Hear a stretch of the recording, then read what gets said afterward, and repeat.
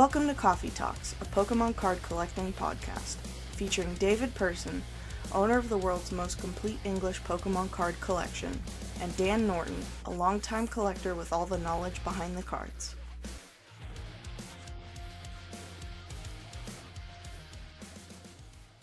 Hello, everyone. Welcome back. It's another week. It's another Koffee Talks with myself and David. David, how's everything going? Dan, wow, right into it this week. Dan, I'm questioning everything right now. Everything. I don't know what I'm thinking, but everything is a question. And so I'm probably going to have several questions for you today as we get going on with this thing called, what do we call this now? Koffee Talk? Yep, still Koffee Talks, still your name, still don't know why you named it that. I don't know myself, Dan. I did forget the coffee, though. I don't drink coffee. I wish I did. Why would I wish I did? I don't care if I do or don't. I do drink tea and I don't have any. And, and folks that are worried if I drink coffee or tea and I have eight kids, am I Mormon? No, I'm not Mormon. I get asked a lot. Go ahead, Dan. What's up today? Uh, not too much is up with me today. We've had a pretty busy weekend. Me and Laura, we were running our local League Cups and challenges yesterday, so we've had that on. Dan, are there prizes for a League Cup challenge? Remember in the old days, there was like a first, second, third, fourth, and you get these prizes. And I got a few of those things tucked away, League Cups or whatever. Were they called League Cups? Or is there anything like that anymore, Dan? Uh, so there are prizes. The only main thing that Pokemon actually sends us is uh, the winner of the League Cup gets a special playmat with champion written on it, and then other on top of that, it's just uh, booster packs from the latest set.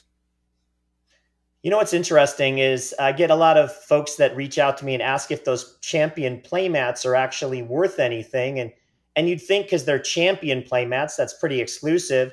And I always say, you know what? Put them out there for about five hundred dollars just in case, and you'll be lucky if you get two hundred by someone from someone at some point. So they don't sell all as well as you'd think they would. It depends on the which Pokemon's on the artwork generally. Like, I know I think a set or, or a season or two ago, it was a Alolan Vulpix, and I think that one's close to a couple of hundred. But you have to think every store that's running a League Cup is giving out three of them, just three different age divisions, and basically any local store that wants to get to that level can. I know around Columbus, I think we're up to about six or seven stores that are running them just in the Columbus area. And so if you multiply that by every major city around the world, then they're not in short supply, really. You can get these champion playmats if you want them. And I think a lot of people don't really enjoy using the champion playmats if they didn't actually win it. So I think it's a pretty limited market on whether people enjoy the Pokemon that's actually on the mat. Dan, Columbus really is a mecca of Pokemon card collecting. You seem to have brought the entire world just into Columbus with you. It looks like people are pretty excited about that. So, well, I think we're a pretty big hub for playing. There's not too many collectors around here, but we are a very big playing hub. All right. Well, let's looks like we still got some uh, some some goals to achieve. Then we've got to turn the players, all of them, into collectors. Dan. All right. Well, that's what I've been up to this week. Should we get on to the comments from last week's video? I'm definitely looking forward to it.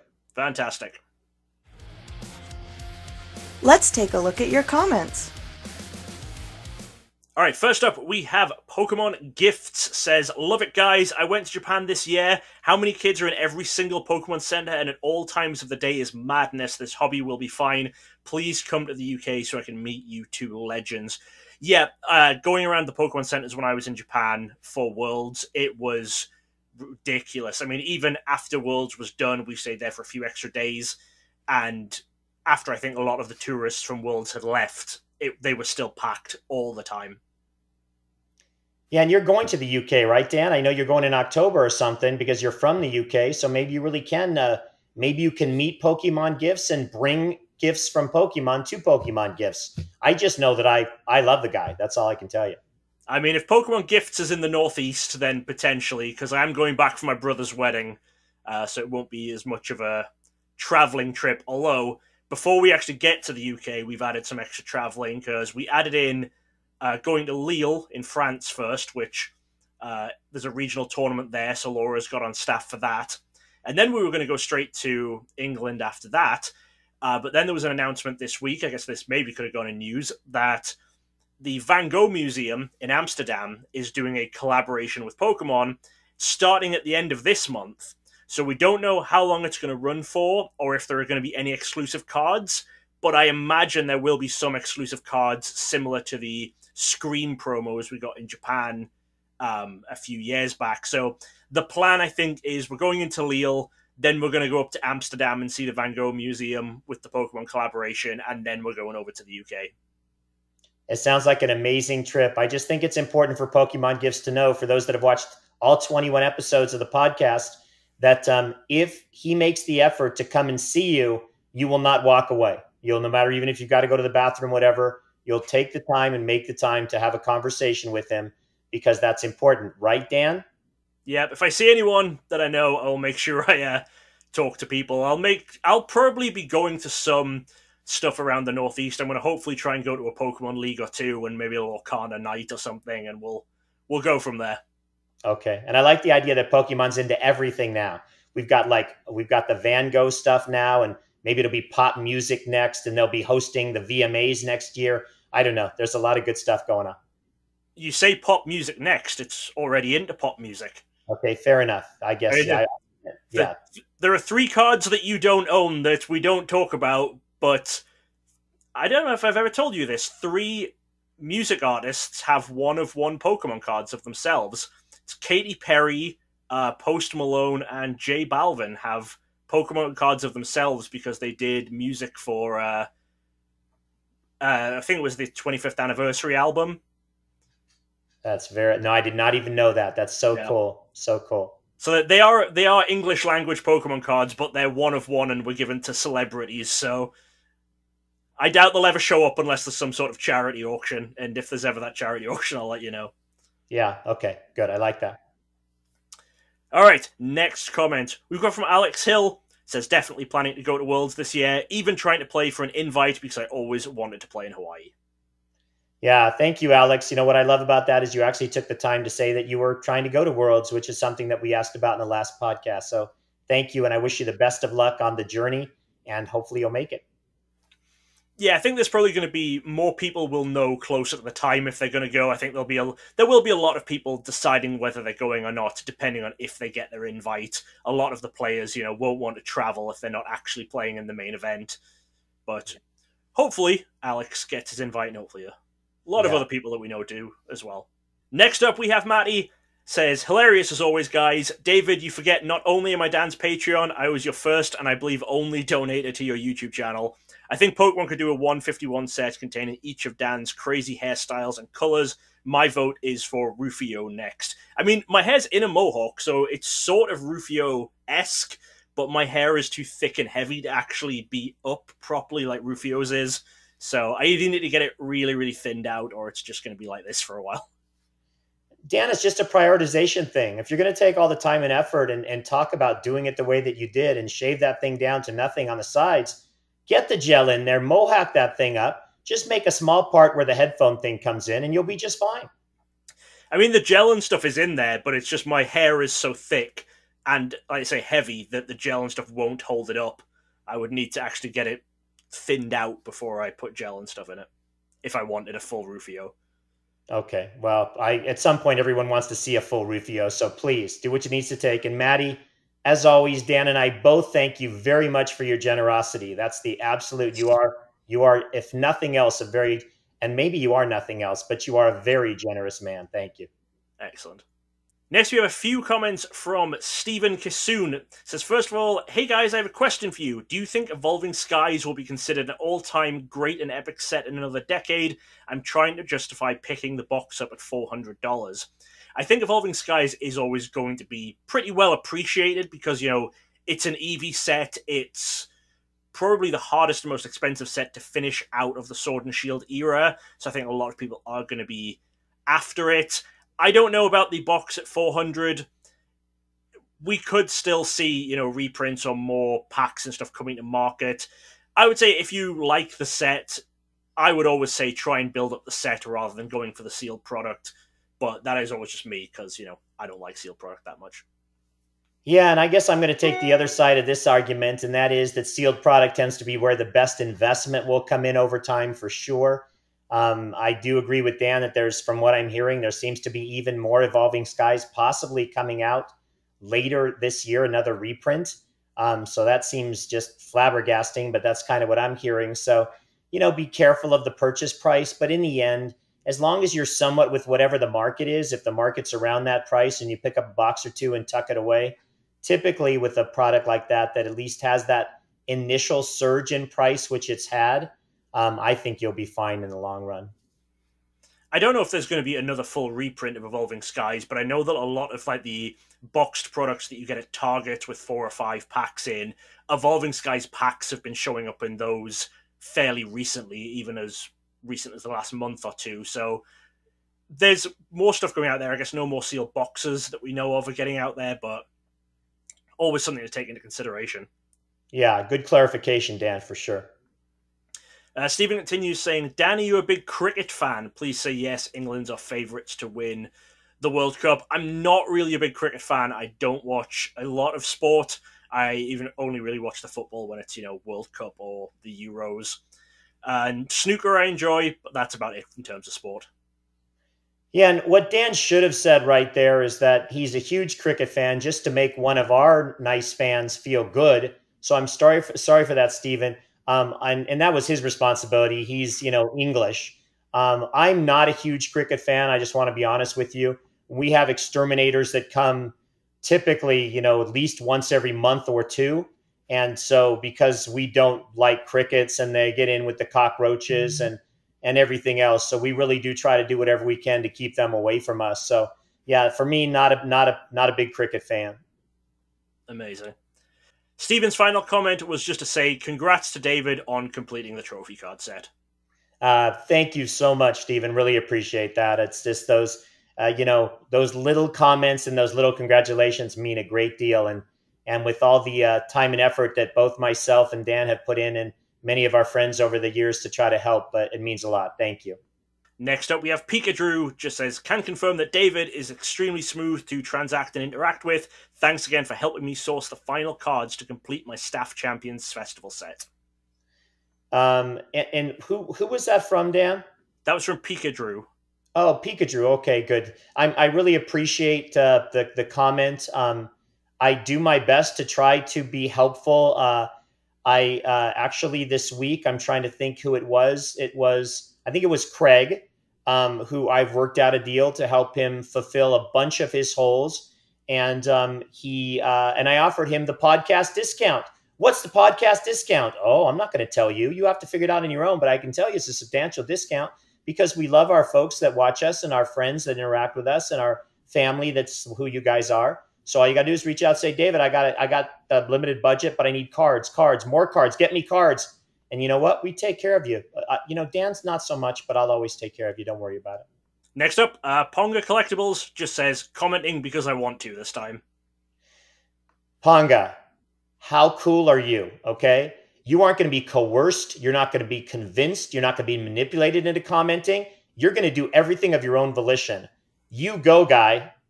We then have your average player says, Always a pleasure to listen to. We'll share this as much as possible so people can listen to this and cherish it like I do.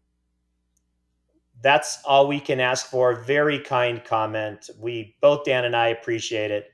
Um, you know, I I don't cherish doing it. Dan does. I don't cherish listening to it. Dan does. Uh, I don't share. I really don't cherish that much. Um, I do cherish my Pokemon card collection. I do cherish all of you. So so thank you. Right. Next up, we have a comment from Craig. What Craig has done is written a story similar to how you used to write stories for this, David. So I'm going to let you read this one out as as you would if it was one of your stories. Thank you, Dan. I appreciate the opportunity, Craig. We are so impressed. Dan and I probably sat here for for ten to fifteen additional minute no not minutes seconds before the podcast started and we talked about no, it was minutes uh, about the effort you put in. This is really truly impressive. Hope you guys will all listen. And thank you, Craig, for writing this. Here's what he said. He said, "Spectacular save." A lot of these things are in quotes on calling your lass a Snorlax. He was referring back to my inadvertent comment about my wife in the previous podcast. You'll hear it if you listen. They're not bad podcasts to go back and listen to. You can binge watch them when you're drinking heavily and want a way to forget.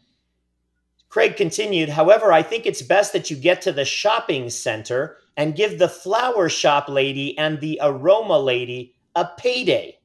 and whilst you're at it, thinks you should pick up something covered in sugary sprinkles, whilst you're there just to safeguard against catching some furious fists, which I was able to avoid from my wife last week by that spectacular save. He continues, you don't want to end up having to take your camping gear into Viridian Forest because she's given you the heavy boots out of the door. I don't know, guys. I'm thinking if you guys have any kind of relationship situations, you've got something tough you need to tackle, get in with Craig. Um, he is something else. He really is. The guy's wired into everything, and he will he will save you from whatever you've kind of you know put your quicksand you've gotten yourself into. Thank you, Craig. Cool. It was a very cool comment, Craig. We very much appreciate that. Yeah. Next up, we have two comments from Laura because we called her out last week on uh, not having actually commented on the videos. She says, I listened to the videos on Wednesdays, but didn't have work on Wednesday because of a holiday. So here's my comment for the week. She also says, shout out to the Oddish illustrator, who is the first non competition winner from the US to illustrate a Pokemon card in years. That refers to the Oddish that was featured in the Path to the Peak TV show that we're getting as a promo, which we mentioned in the news item last week.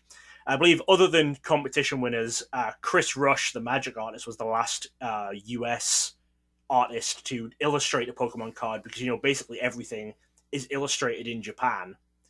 Um, and then it just gets translated over here. And Chris Rush did one for WotC way back in the day. And then this one was done by a US artist for the show, which then made it onto the card, which is very cool.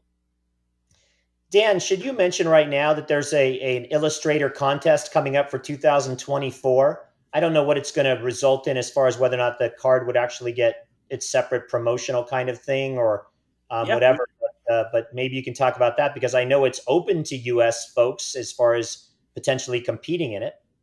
Yeah, we can certainly mention that now. Um, so there is a competition open. I'll throw a link in the description where you can go and see all of the full details.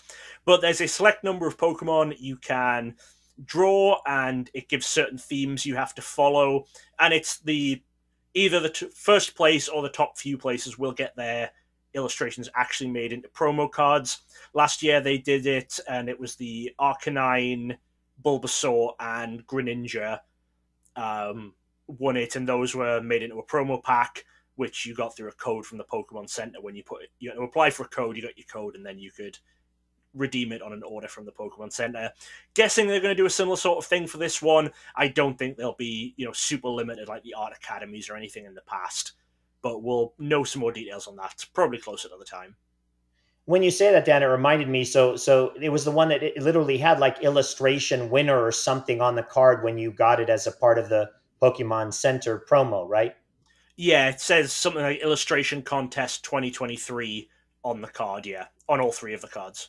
Yeah, very cool. Well, remember, you can't win if you don't compete, and there's a lot of talented uh, folks out there. So, so yeah. um, this shot, and I hope I hope and somebody, one of our folks, wins.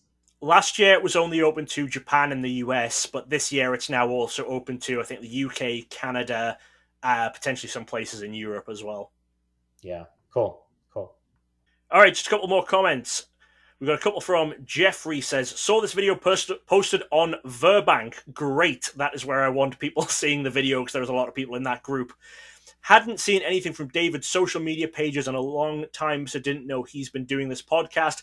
Glad to know he's still trying to do something. Well, yeah, I think David still updates his Instagram and stuff occasionally, but I think it's mainly stories now rather than actual posts. So if you just go on it on a certain day, it might look inactive. But he posts stories every now and then. Yeah, and I guess maybe I didn't really realize, uh, you know, that uh, that by doing the stories, I know they kind of disappear, and maybe I should post as well just to create some continuity out there. But um, because I, of course I'm thinking that I'm I'm posting to the couple of thousand folks that that follow me, um, and so it was at least uh, sad to hear that other folks maybe not realize, but great to have Jeffrey back in the in the uh, saddle again. Yeah. And um, and I appreciate you watching, and it's it's nice to to kind of catch up. So thank you. And Jeffrey also commented to say, I'm hoping to get on staff for next Worlds. I'd love to meet you in person. Finally, David. That would be great, Jeffrey. Uh, good luck with that. Hopefully, you're able to, you know, work some regionals and some ICs and stuff throughout the year so you can build up your profile to hopefully work next Worlds. Yeah, that'd be fantastic. I would I would like to do that as well. And I I can't build up my profile through working in the regionals and stuff, but maybe I can just work in the back scenes of worlds, maybe like a janitorial person, like helping people clean up from the food stands. And I'd like to actually have people just kind of watch me working and then say, what's he doing? And then maybe they'll sort of ask for me to be a part of a world staff in the future. The convention center unions would have your head if you tried that. you have all the answers, don't you? I just I can't, I can't slide anything past you. Okay, fine. Right, yeah. I, I, I've I've worked at regionals and stuff. I know how the uh, convention center staff are. You can't do anything without them. You can't even move a table without asking them first. What if I go in the bathroom and just be one of those guys that like polishes your shoes or puts some perfume on you or whatever? Can I do anything like that? I mean, you can probably do it. I think that maybe becomes a police matter rather than a convention center staff matter at that point if you're just hanging around in the toilet approaching people. You win again, Dan. Thanks. Yeah. All right, final comment for the week is from Christopher. Says, would love to help grow this podcast however I can. One of the best. Well, as we said last week, comment on it when you see it posted in any of the groups, share it on Instagram, whatever. Just tell your friends about it. Just get the word out there.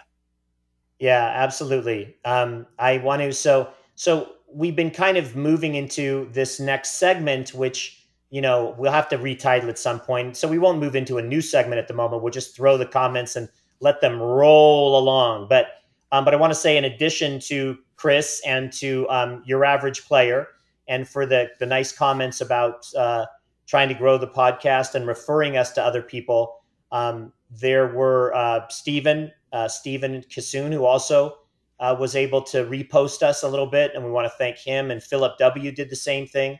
Um, Jeffrey also did the same thing a little bit. So, so I just wanted to specifically to all those folks that are taking the time and effort to show me and Dan that you're reposting and telling others.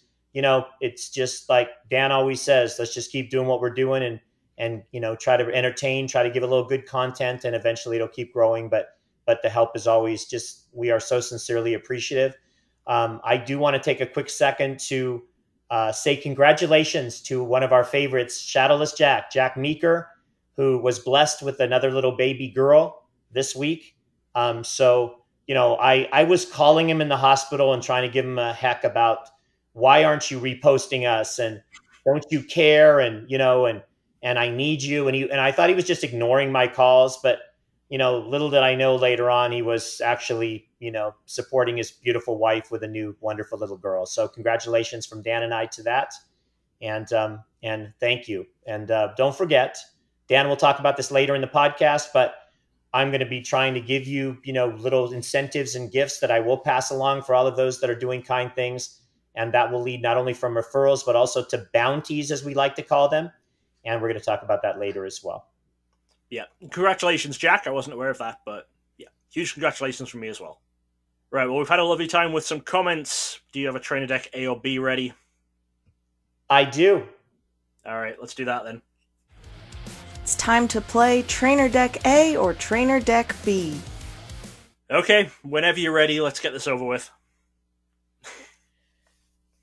So, Dan, uh, look, I know this is your favorite part of the podcast. And so I just want to highlight it again for those that might be brand new.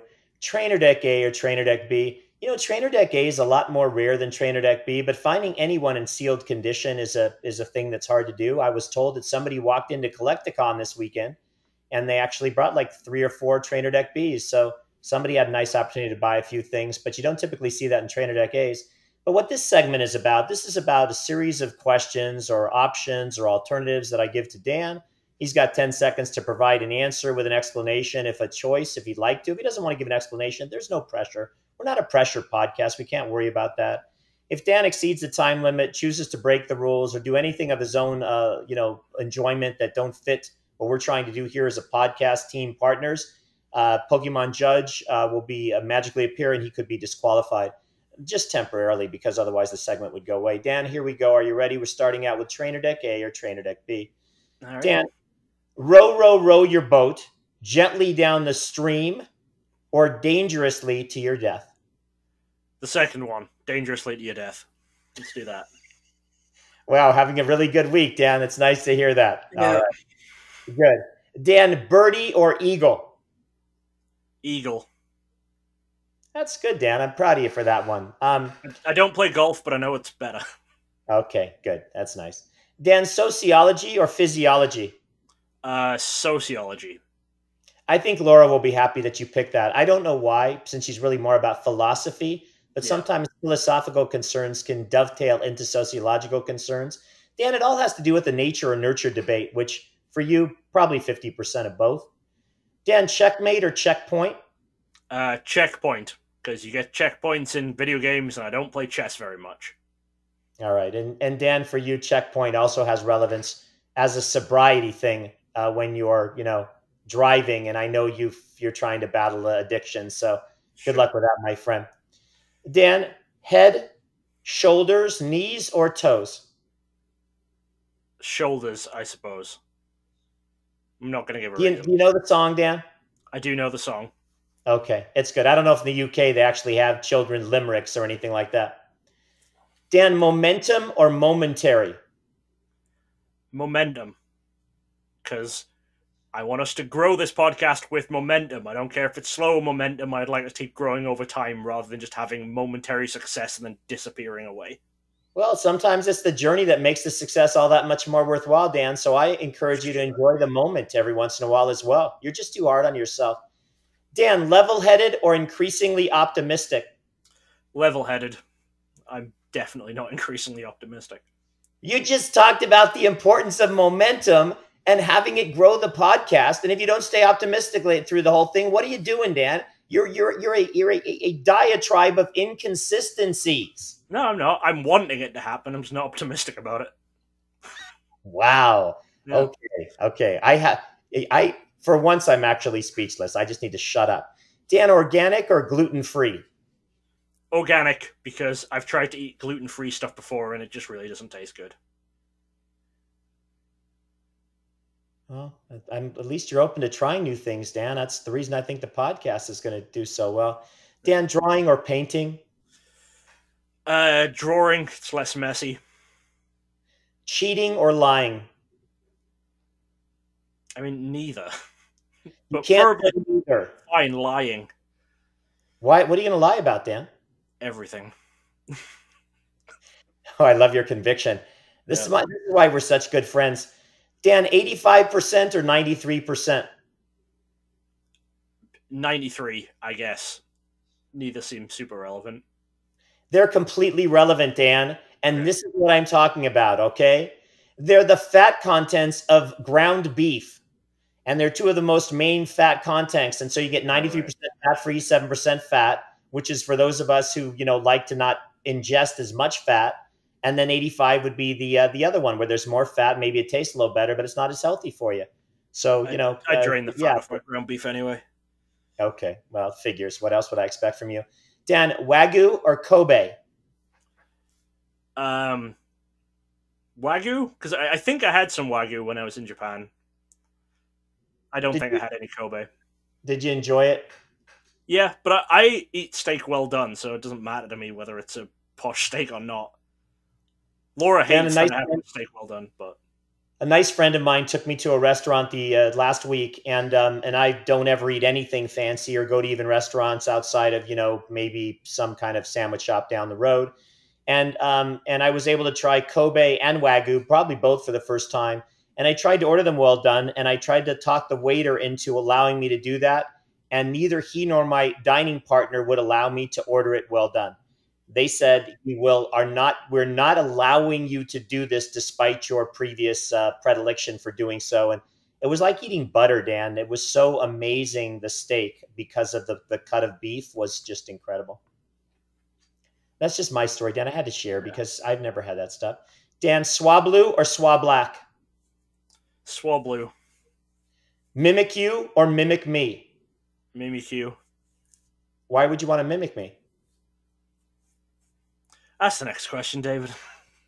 Surskit or Mamskit? Surskit. I'm just gonna put Pokemon on for all of these. How many you got? Toga Kiss or Toga Hug? Togekiss. Lillipup or Lilla Kitty? I didn't even hear the second one because it cut out, but I'm going to say Lillipup still. You miss Lilla Kitty. All right, Lily Kitty. Fine, I'm still picking Lillipup. Vengeful Punch or Supportive Pat? Vengeful Punch. I'll still have- the Pokemon card. You have so much anger in you. I don't like that side of you at all. I do. Malaysia or Singapore? Uh, I'll say Malaysia because we still need to get a card from there. Brilliantly led into. We're going to do some highlight cards in a minute. I'll say Malaysia because we still need to get that one. All right, I'll stop there then. I was going to say third or fourth, but I'm going to stop on Malaysia and let us roll right into the highlighted cards, buddy. Thanks for Cool. playing Today- Trainer Deck A or Trainer Deck B. Yeah, it's an exciting highlighted cards this week. And now for our highlighted cards of the week. So, highlighted cards this week, we're going to talk about something very, very exciting. I think a lot of people do not know about these cards yet. So, these are related to Worlds. We did talk a bit about Worlds. Two reasons they're related to Worlds. One, we picked some of them up at Worlds and contacted some people about them at Worlds. And also, winning these cards qualifies you for Worlds. Now, I'm sure a lot of people are thinking, oh, does this mean they're IC champion cards? We know about those. But no, this is something different. So, This is recent- wait, Dan. This is something different. This is something different. This is different from the ICs. This is not the regular IC promos that we've been talking about recently. Now, when you say IC, are you talking about international championships or what do you call those? International championships. And Dan, when you said that most people don't know about these cards, do I know about these cards? I mean, you should. I've been talking to you about them for a couple of months, but we'll see. We'll see what your brain does. Okay. All right. So, people might know that a lot of Pokemon organized play was restructured recently, mainly in the Asian regions. That is why, you know, we talked a little bit last week about how we're losing Oceania Internationals because Oceania Internationals, that region used to cover a lot of Asia, places like Singapore, the Philippines, Malaysia. All of those places were kind of covered in the Oceania bracket. But Oceania is now just Australia, New Zealand, and all of those other countries are in the Asian bracket for tournaments going forward. Now, all of those tournaments within Asia, all of the countries, they're split up. So there's actually nine different tournament seasons or tournament structures running throughout Asia. You know, we have the Japanese one, there's the Korean one that we already had, that was already going, but there's Thailand, Taiwan, Singapore, Malaysia, Philippines, uh, China, uh, Hong Kong, and the, I think I might have said more than nine. I think there's maybe more than nine. There's a lot of them going on. The relevant ones to us are Singapore, Malaysia, the Philippines, and Hong Kong EN. The EN is relevant. That is because these are the four places in Asia that play in English. They have English cards as their main cards rather than having a native language printed. Hong Kong EN is because Hong Kong is actually split up. Hong Kong has two concurrent tournament structures one played in simplified Chinese, one played in English. Now, the sets that they get are the exact same sets that we get over here. You know, it's not going to be the Japanese sets just translated over. It is the standard releases that we get, you know, Brilliant Stars, Astral Radiance, etc. I think that's about the time they started. So it's only a few cards from those places that are actually going to be relevant to us and relevant to David, and that is tournament promos because they get tournament promos with their country printed on the card. So the same way that the ICs we got Ultra Balls this year, those four countries got Ultra Balls with their country's uh, name printed on the card for Singapore, Malaysia, Philippines, and Hong Kong EN. And similar to the IC promos, these each one of these countries had four different cards: player, staff, top eight, champion. Different to the ICs, video game tournaments don't happen at these. It's TCG only. And there are no age divisions. Or for this last season, there were no age divisions. There are going to be age divisions going forward. But what that means is that these champion stamped cards are one of one. There's four of them, but they're four different cards. It's one for each country, and they are one of one. The top eight, uh, the champion doesn't actually get a top eight one, so the top eights are out of seven. There's seven copies for each of the countries. The staff and players, there's also not a huge amount. um, because these are much smaller tournaments than uh, the international ones. But I'm hoping they're not going to be ridiculously rare. So obviously, I'm kind of leading the conversation here, even though these are David's cards that he's purchased. When we found out about these, I tried reaching out to some contacts that I had in some of these countries, but it's still been pretty difficult to chase up some of these. Our biggest success so far has been from Singapore. Singapore, we have the champion. We have a top eight. I've uh, paid for us to have players ones. They haven't arrived just yet, but those have been paid for. And Singapore staff, we have a lead. It's not finalized yet, but uh, fingers crossed on that one. And then Philippines, we have the champion. I say we, it's David's card. David has the champion. That is the one that Joshua uh, mentioned when he commented on last week's podcast. Or he commented two weeks ago, and then we read it out last week, saying he hoped that David would mention his card when he got it. So that is where David is currently at. Uh, I have reached out to some people in Malaysia, trying to make some contacts there, and I'm trying to reach out to some people in Hong Kong as well to see if we can chase up the Hong Kong EN promos. But that is also where this is going to come in. If anyone here knows anyone in those countries, obviously we are very, very interested in trying to get those cards. There's the two champions from Hong Kong and from Malaysia, which again, they're one of ones. So if you find out who wins, who won those, those are the people need to speak to. And then we still need the top eights from Hong Kong, Malaysia, and uh, Singapore. No, sorry, we've got the one from Singapore. It's Hong Kong, Malaysia, and the Philippines. We need the top eights from. We still do need all of the staff ones. You know, um, if the other contact does come through for Singapore, we're fine ending up with two staff ones at some point, and then we need the player ones for everything except uh, Singapore. And the player ones, me and Laura are interested in buying as well because those are the ones which are still within our budget. So multiple player ones would be nice but that is where we are at with those.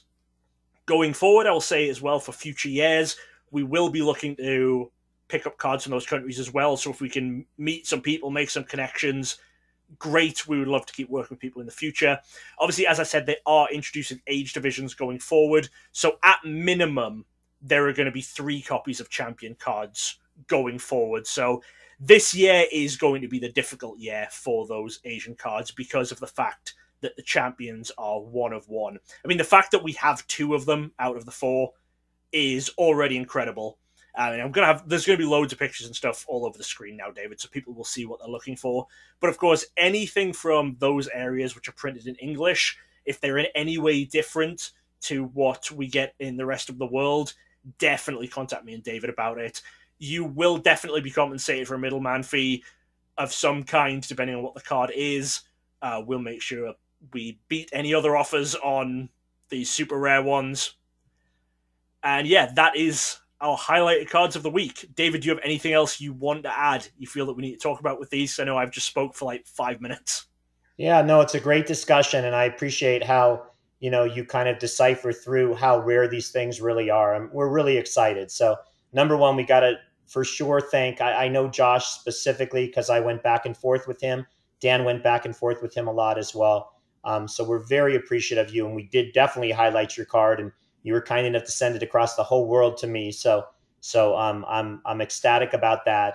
Um, Dan did his magic and stuff with uh, with the Singapore cards, and so we're ecstatic about that as well. Um, like Dan said, um, as far as the the bounties and that kind of thing, we are definitely. You don't have to. You don't have to buy us the card. You don't have to necessarily um, it doesn't necessarily have to result in a sale. It's just that anybody kind enough to help us with a lead that we might be able to work on to try to find these cards or talk to other people, um, we'd really be appreciative. I think most of the folks that watch this podcast know me. And the one thing you get with me is someone who doesn't sell these cards. Um, and that's the difference. Uh, so many folks right now, as you'll find out more and more when we talk about worlds and further stuff that I've found out about in the actual trophy cards it's like almost every single person, if not every single person, bought a card to ultimately resell. And they've resold them already. So, you know, talk about little old me off in the corner who just buys to fill collection holes. Um, I'm not sure that anybody does that anymore. and especially not only with the trophies, just with almost any sets. I look at all these master sets that are built. Nobody knows what a master set is, of course, but master sets that are supposedly built, allegedly built, and you see them for sale out there on any sets, and they're built for resale. They're very rarely built for people that end up holding them. Um, the Dans and Lauras of the world are, are the rare uh, couple, um, and they're so busy they can't even finish one of them. So, um, but then you're talking about a guy that can't get his mohawk to stand up straight either. So I digress. I've got to just settle down a little bit here. But uh, Worlds cards, highlighted cards, Singapore cards, uh, Malaysia cards, Hong Kong EN, Philippines, anybody that can get us into any of those extra cards, staff, players, uh, we'd appreciate it very, very much. So thank you. And uh, one last thing to mention if anyone is you know able to reach out to people and they reach out to either of those two champions that we don't have the cards for uh, the champion cards were given out actually inside a plaque. There's a very nice plaque. It's a screw down. It has the card in the middle. The plaque i believe has you know a little a bar saying that where it was won everything like that the card is very easy to remove from the plaque we don't care about the plaque the winner can keep that they can keep that as their memento and sell the card. That's fine. The two that we have, the winners kept their plaques, and that didn't really affect the price that we were offering because David's interest is just in that card, and you know this way it leaves the winner with something to see. Um, I believe it was only the champion that actually came out in the plaques. Um, the top eight and everything were just given out as usual. Yeah, well, again, and my thanks to you, Dan, for all the time and effort in trying to make some of this stuff happen. So so I'm confident someone's going to connect us somewhere. It's we, you know, we try to do right. So yeah. So to end off this section, I will say next week on next week's podcast we will start the discussions of the actual 2023 trophy cards and other cards from the World Championships the plan had been to do that some of that this week. It is just with getting this card in from Joshua and us now having two out of the four. It felt like a good time to talk about these, raise awareness of them, and you know hopefully get some people talking and start trying to make some connections on it. But next week, we promise we will start talking about those trophy cards. Uh, I can't wait, Dan. I've got so much to yeah. say. I know nothing about them, Dan. I'm not going to say anything, but I'm going to enjoy listening to you talk, show pictures, and and know that I've got a at least one of them in my possession at some point. I don't have it in my possession, but at least no, I, I have to own one of them. Yeah, if you if you ever fly out or you and Laura, you know, whatever. So yeah, yeah good. Uh-huh.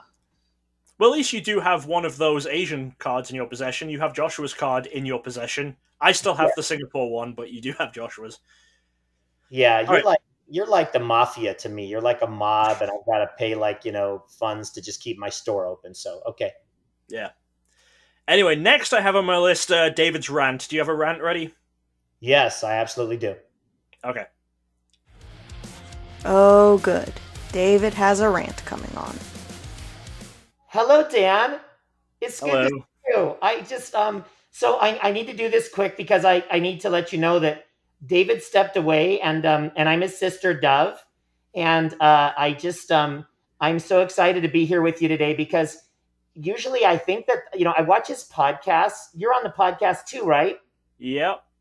Yeah. So um, so the thing is that today. Oh, by the way, I just want to apologize. I've got a little bit of the COVID going on, and so I need to wear this mask just so that I can protect the family and the neighbors and the animals. Um, do you ever wear a mask during COVID, uh, Daniel? Not in the house, I don't, but outside I do. Okay, all right. Well, so anyways, um, I know that I think he was gonna like come back and do a rant, but you know what I say? I say screw the guy because he doesn't let me out of here very much. I'm kind of locked up, and I thought before he gets back, maybe I could just share a little bit of my Pokemon card collection because this is my opportunity to let the world know that I do exist, and I'm and I I think there's things that they should know about me as well, don't you? Sure. Well, okay. let's well let's see what you have to say first. Okay, well, first of all, I'm going to show you a little bit of my collection, and I hope that everybody can enjoy it. Do you have people that watch this podcast, Daniel? We did. I don't know if we're going to going forward. Okay. Um, gosh, that's sort of sad, but I guess I understand where you're coming from. All right, well, fair enough. Let's just look at a few of the things that I'm most proud of in my Pokemon card collection. I'd like to start out with this card right here. Hopefully, you can see it. It's like a it's like a silver um, Charizard VMAX with a 330 points at the top, and um, I've been told it's from Lebanon, and um, and also I've been told that it's like somewhere between three and four hundred dollars on eBay. Not three hundred and four hundred, Daniel, but between three dollars and four hundred dollars on eBay. I'm really like that, Daniel. I went to um Target uh, like a, maybe a week ago, and I got this um I got this little thing right here. Uh, it's a card with a coin. I don't know what it says because I can't read very well, Daniel, but it says speed ups. Speed ups. And I think I should probably speed up along what I'm showing before David gets back. Daniel, I have this super old thing called Next Quest, and it's from a it's this Pokemon trading card figure game. Have you seen one of these before? I have, yeah. Oh, is it anything that could make me some money one day, or you don't know that for sure? No idea. Okay. Maybe. Yeah, it's got a little cute little Pikachu in there, and I just love it. It sort of makes me warm and fuzzy, like right before I need to be warm and fuzzy. Also, Daniel, when I take my notes in the hobby, I have this right here, and it's a Pokemon a book. It's a booklet. It says Pokemon Organized Play. It has I don't do you know the character on the front, Daniel? Because I don't know what that is. Yeah, that's a Groudon. Okay, well, I think if you and I get a chance, maybe and your wife's not around, we could do a little Groudon one time, okay? But don't tell her. That's Good lord.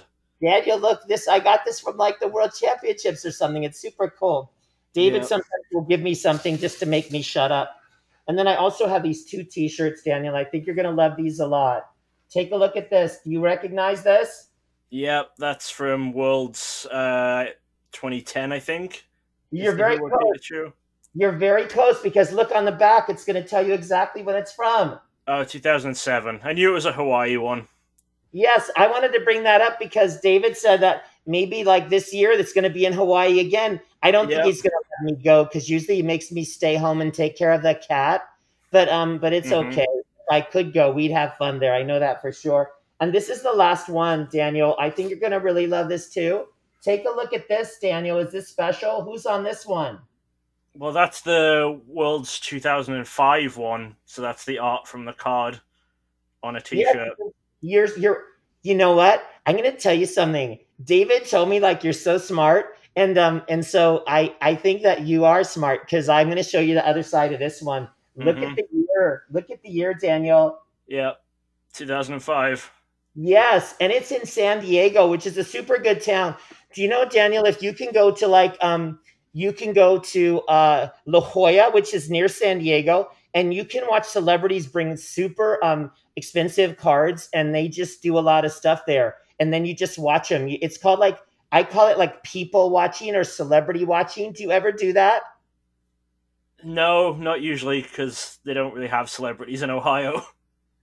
Oh gosh, that's really unfortunate. Well, maybe sometime you can come out and visit us and we'll take a plane together and we'll go to La Jolla and we can just have super fun there, okay? Um, I- I'm sorry. I hope you're not going to get sick from my COVID mask, but I did get a special one. Do you see it has like a little Pikachu on Yeah, it? I see it. Okay, because I like to represent. I'm a, I represent is what I do. Daniel, I have to go right now. I don't want to stand much longer because if he catches me, all heck is going to break loose. Do you know what I'm saying? Yeah.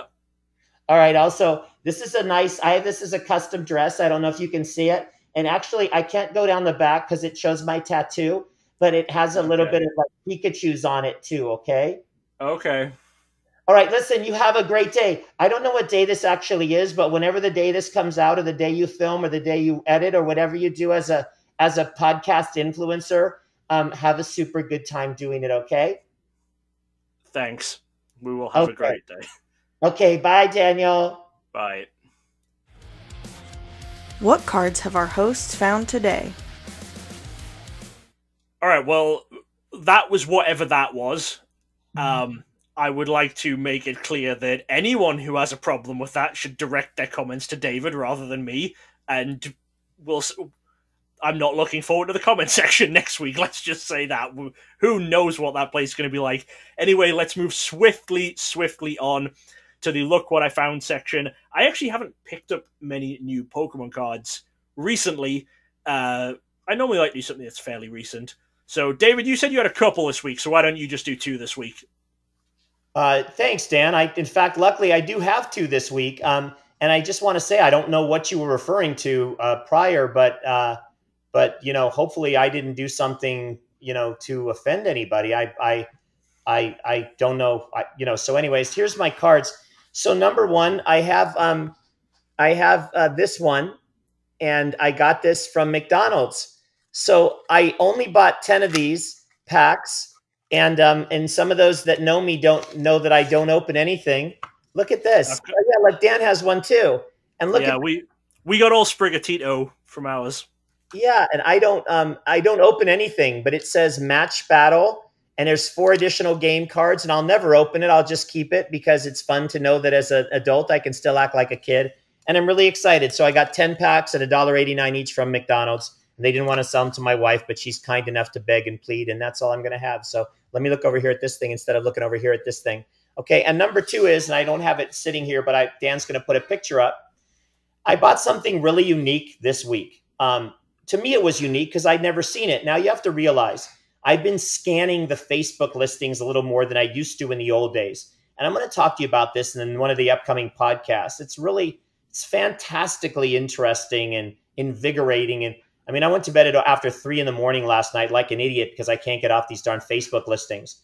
But I ended up buying something that the seller on eBay, this was actually on eBay, by the way, so not, so I guess I should clarify, called it a yellow filler prototype test card editor owned. So let me say it again.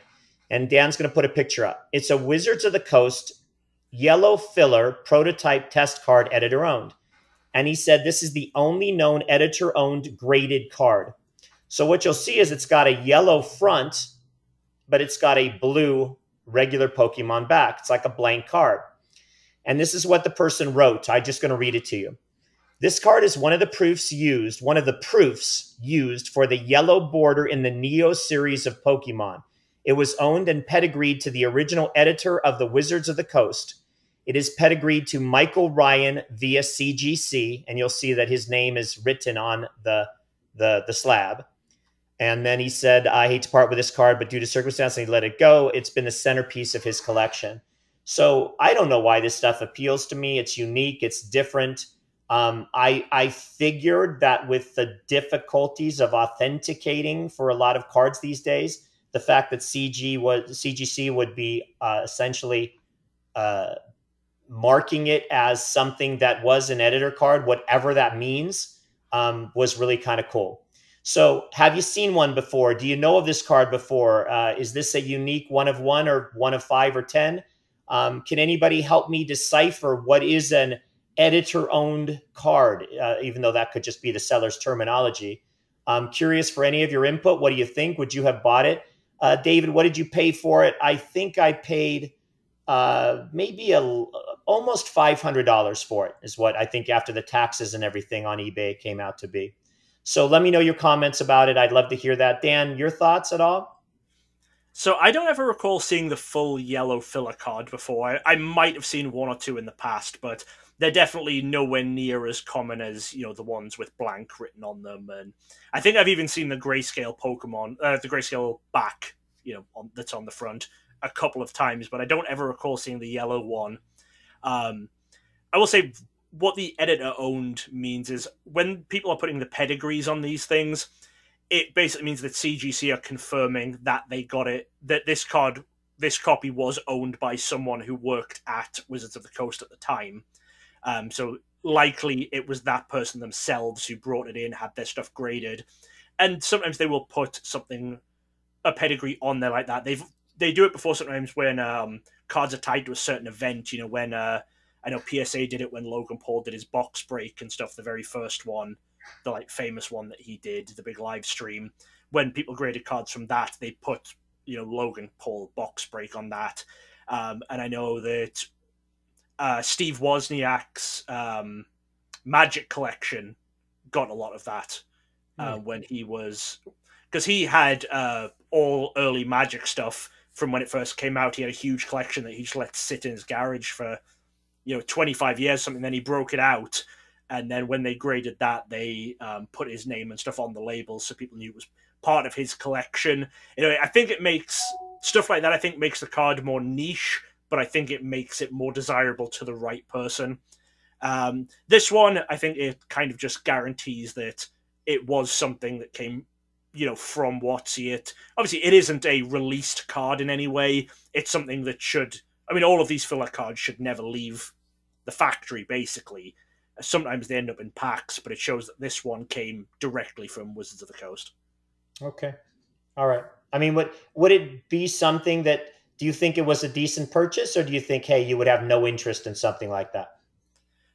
I think similar to a lot of other stuff we've talked about, it's one of those things where for me it's cool, but it would be one where I wouldn't prioritize it over other things. It would be one of those ones where it was like if I had all of my collections done and I saw it, I'd say, yeah, I want that. It's kind of cool, but I would rather be picking up the released cards than picking up that.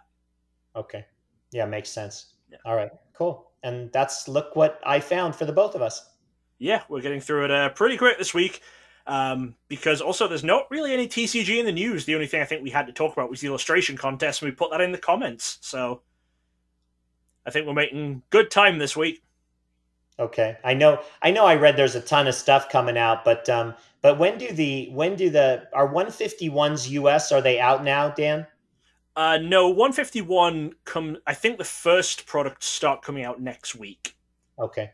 Um, we'll maybe talk about that a bit next week. So I, am hoping to get uh, a lot of it on release day. Uh, without going into too much detail, we have some money that's supposed to be coming in from a place, and it hasn't come in yet. So if that money comes in by Friday, I'll be buying all the 151 when it releases, and if it doesn't, I'll be yelling at some people down the phone. All right, Dan. But, if you need a small loan so you can do whatever you need, let me know. You know, I don't want you to mm-hmm. stop buying so you can do your 75 different podcasts, opening up every possible 151 product. Hey, I uh, I changed how I'm doing my openings now.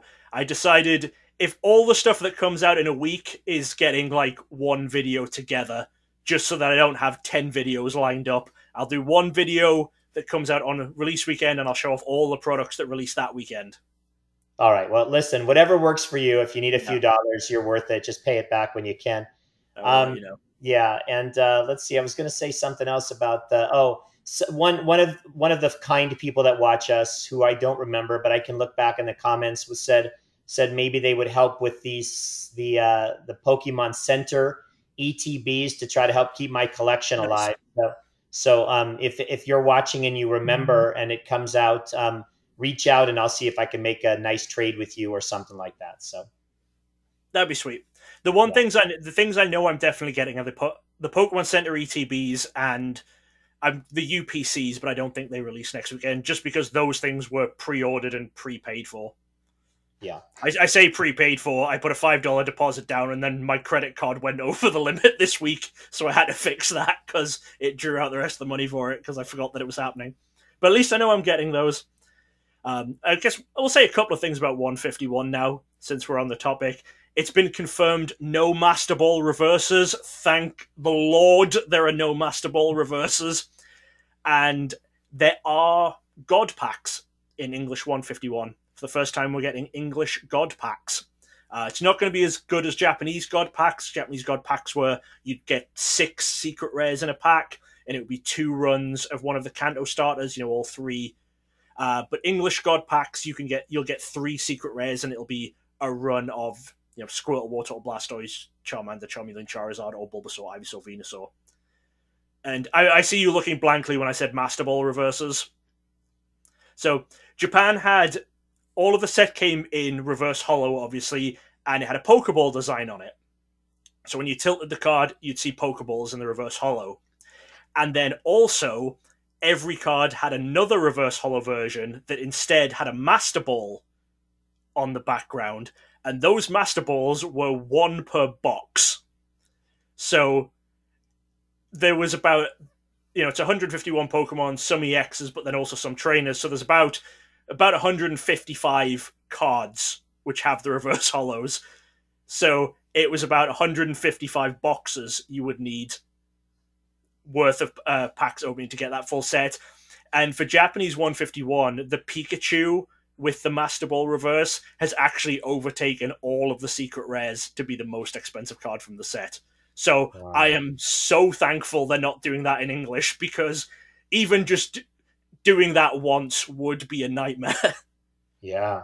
Yeah, absolutely. That's crazy. Um, wow. Okay. Well, I'm as a as a collector, you know, I'm glad I'm I'm on your side. So.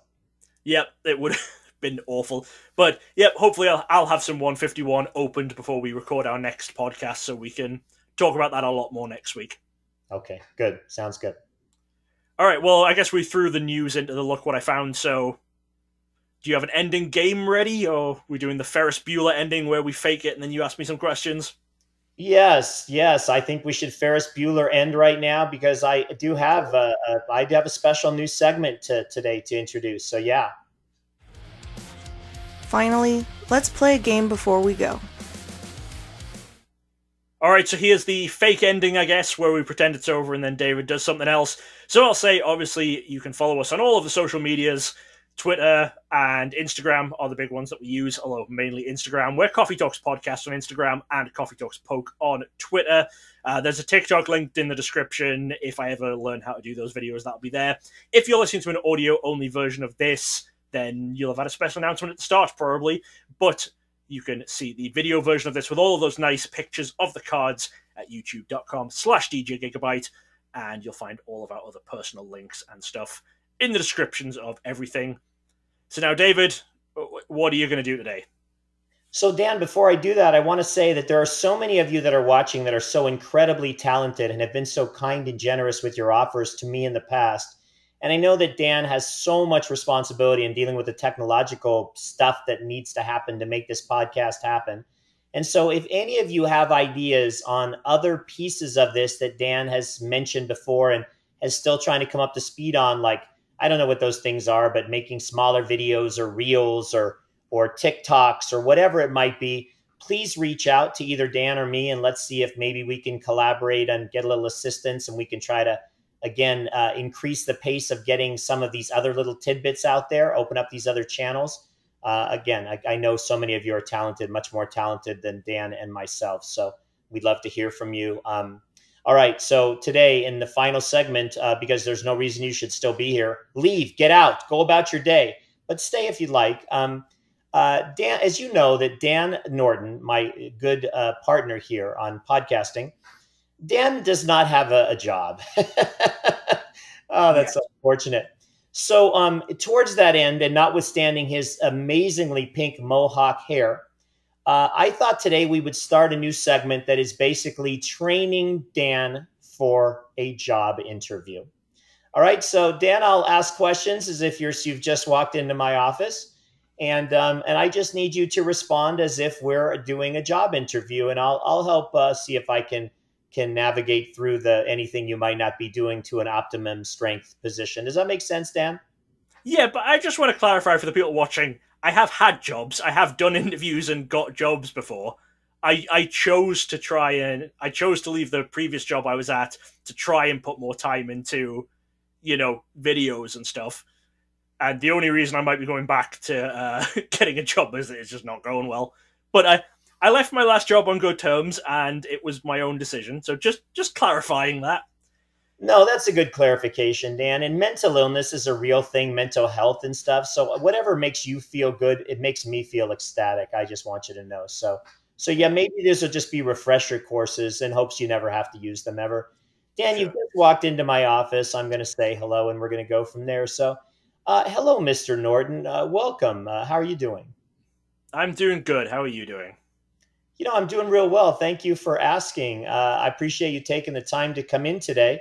Um, so, uh, you know, just to make things simple, why don't we get started? And why don't you just tell me a little bit about yourself?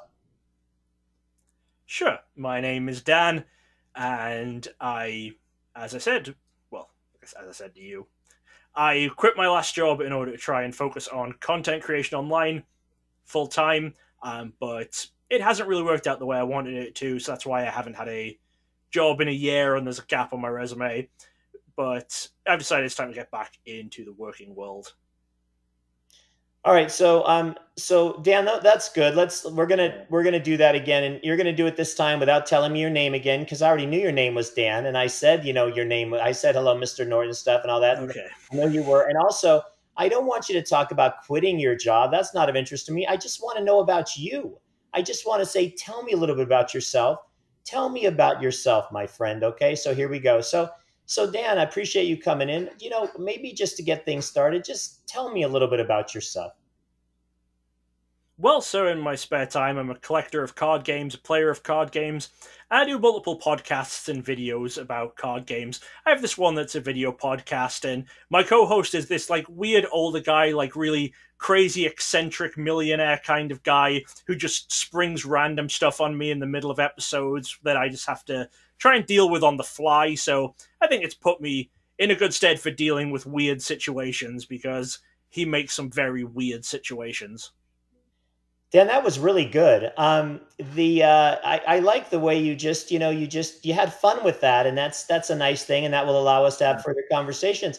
Um, Dan, did you did you happen to mention in talking about yourself at that point? Uh, I, I feel like I didn't hear you mention anything about your beautiful wife, uh, you know, your dogs. Uh, was any of that in that uh, mentioning at all, Dan, or did I just maybe plug up my ears and I didn't hear it? No, I didn't mention that. I don't know if that's the best thing to mention straight away in an interview, having dogs. And I mean, I, I assume they know I'm married because Laura would be my emergency contact on my resume and stuff. I think one of the, I think that goes on there. I don't know. No, Dan, it doesn't go on there. It's not a school thing where someone's got to pick you up from the health office when you get sick. No, it's not. It's a resume. It says what your jobs are and what you're looking stuff. for, and that's the whole thing. That's it. That's all we're doing. Okay. So, you know, what you want to say is you just want to say, "Hey, how you doing?" A little bit about me, you know, I'm pretty simple guy, you know, I'm focused on uh I'm, you know, trying to do things in an excellent manner. I've got a beautiful wife. I live in a nice home in Ohio. Responsible, you know, if you hire me, what you know, you kind of know what you're getting. I do my stuff. Okay, so we'll continue on, Dan. You're doing a great job, and I think we're going to really help you get a job at some point if we can dye the hair. So maybe grow a part of it back as well. Dan, um, so I'll continue on. Uh, thank you, Dan. That's appreciate that information. Um, you know, I, I know this is pretty standard for uh, for interviews, but I'd like you to talk for just a moment, Dan. Maybe maybe a strength or two of yours that you'd like to focus on, you're proud of, and then maybe a weakness or two that you could mention that you'd uh, you'd like to improve upon. Well, my strengths are that I can deal with people who drive me absolutely nuts without snapping at them. I've had a lot of practice with that, as I said, with my podcast co host and with my wife. And uh, my biggest weakness is that I absolutely hate the job market and never want to have a real job. That's my biggest weakness in looking for jobs. Dan, I'm I'm not sure that this job is right for you. Yeah. You know, uh, what, what, job? What job even was this, David? What job was I interviewing for? It really doesn't matter. You didn't get it anyway. So at this point, let's go on. Yes, yes. Um, and and so Dan, just maybe just one more question. Uh, and I appreciate your honesty. You know, uh, we don't see such such qualifications like this very often. You you seem really special. You seem like someone that you know could really do this job for us. And I'm excited you came in today. Um, so maybe just one more question, Dan. Where do you see yourself with the company in, in say three to five years? I don't see myself staying at any one company for five years. If I'm still alive in five years, I'll consider it a win. I'm I'm just flabbergasted. this is so you guys can see that anybody that chose to stay this far into the podcast, you've made a tremendously poor decision just yep. like we would make if we did hire Dan for our company. Um, but I just want to thank you for you know going out on a limb and you know maybe just enjoying the moment versus the momentum. Uh, whatever momentum I think we may have created prior to today's podcast, which is our 21st or 22nd, I have no idea. Uh, it's pretty much gone. Um, but thank you for uh, for staying this long, uh, Mr. Norton. I suggest maybe you look at a different field this one appears yeah, not to be the best for you, but um, I mean, we, I don't even know what field this was. No, and you probably better off that you didn't, my friend. So, probably. Yeah. So, um, uh, Dan, you want to close it out at this point because I've really got to start. I'm doing some afternoon. Yeah. I'm going to have all you can drink mimosas right now just to try to recover. All right. Well, thank you guys for watching. As I say, follow us on the socials and everything like that. And if you have any links to those uh, Asian tournament cards, definitely, definitely message myself or David or just one of the podcast socials, and we will go from there with those. But other than that, we'll see you next week where we're going to be talking about some trophy cards. Bye bye. Thanks for listening to Koffee Talks with Dan Norton and David Persin, featuring music by More Than Never and artwork by Laura Norton. A special shout out to all of our Patreon members. Join us again next time.